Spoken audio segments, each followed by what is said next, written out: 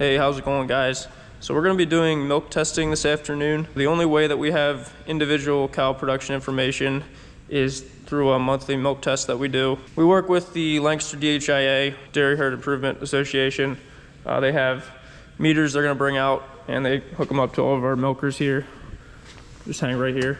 That meter will collect the milk from the cow, measure how much she made, and we can also get a sample, send off to a lab to check for milk quality, fat and protein production. Some milking parlors are more advanced and they'll actually recognize a cow as she's coming in and uh, get a measurement every single milking.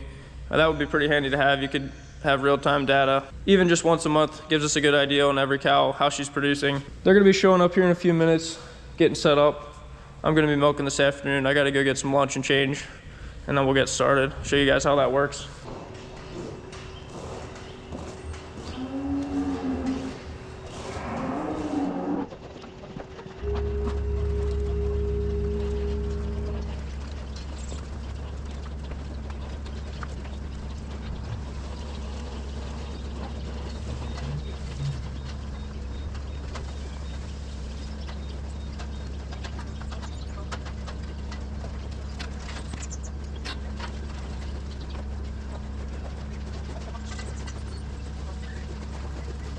But we're getting started here. This is the first side of pen one. So these will be the first calf heifers. You see the units here. Milk just runs through these and it collects a little bit as it's going the whole time. Just tell you how many pounds she made for this milking. Then she'll collect a sample out of here. This will get sent off to a lab. Then they can they can test for fat and protein and somatic cell. It's pulling a little bit of milk from the whole time she's milking. That way you get an even sample. The fat might change throughout from the beginning to the end of when she gets milked out.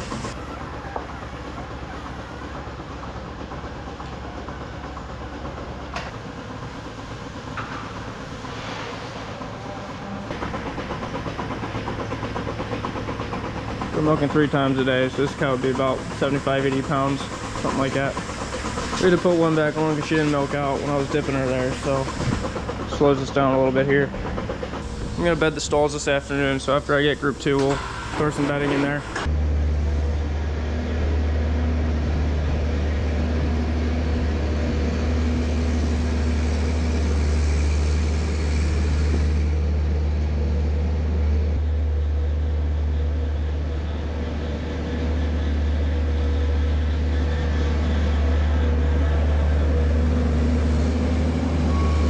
It's the next day here, so we got that milk testing done yesterday. We're still waiting on the results. Should get them by this afternoon. Uh, there's a load of hay actually pulling in the driveway right now. He's behind that building. Gonna unload that off the truck. We're gonna get that chopped up later this week. And I was also looking, this is our pre-mix with some proteins and minerals. I talked about that a couple videos ago. Need to get this ordered again for later this week. And uh, I was saying how it was dusty. Some dust was floating away when we were dumping it in. That's an easy fix. You just got to add some oil or molasses to it to cut the dust a little bit. I talked to our nutritionist about it and he made that adjustment on the mix. So next batch should be a little bit better with the dust. That'll be good. I think I'm just gonna set this hay all outside because we're gonna have good weather this week. Don't really have an empty bay. We have some soy hulls that we're still working through. This is all gonna be in the premix then, but we had some left over that we're still feeding separately. So if I stack the hay in there, then we can't get to that, or I have to move that. I guess the truck's not pulling in here yet. He went to the neighbor there to weigh full, and then he'll get his weight off the scales there at the grain business. So we like to feed this chopped hay. This stuff is good for uh, really just the, uh, the fiber, undigestible fiber. Kind of helps slow the feed down through the gut of the cow. Not really feeding it for the nutrition. Put some in the cow mix, a bunch in the dry cows, uh, then also the, the heifers, the older heifers, we give them some too, just so they don't have too much goodies but can still fill up and not be hungry.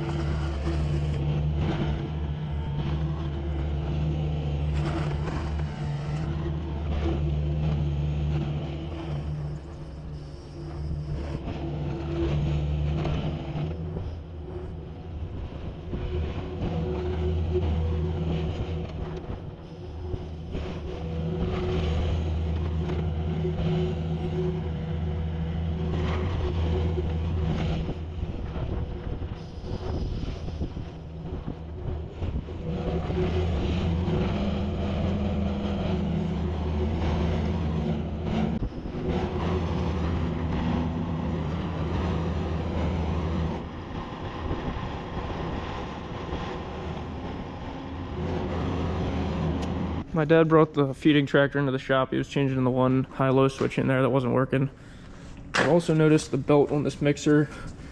It's like a bulge at this spot. I Guess there's something underneath it there, I'm not sure. But the belt's kind of tight. It's tighter than it used to be. I guess partially because of that, but seems like the whole thing's pretty tight here. They were telling me that you shouldn't run it too tight. It can be hard on them. I'm gonna try to loosen it up at least. I don't know if we can get this out of here. Make an adjustment here on the sides of the belt pretty easily. Pulling adjusters to center the belt. I don't know that it's off center. Well, actually, it might actually, that's what it is, I think. It's out of the groove. Yeah, it's supposed to keep it in place. There's a little bit of a groove on the bottom of the belt. Yeah, those four, and then adjust. Yeah, so just gotta loosen these.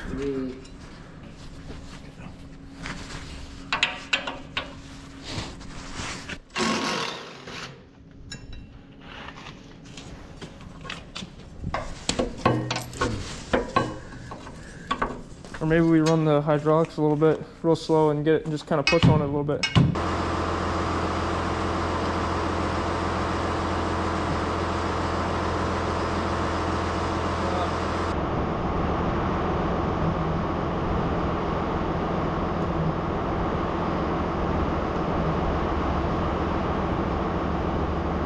We got the belt centered.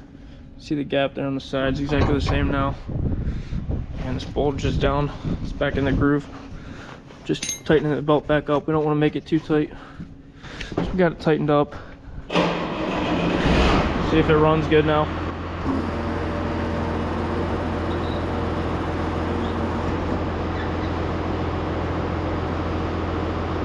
Should be good.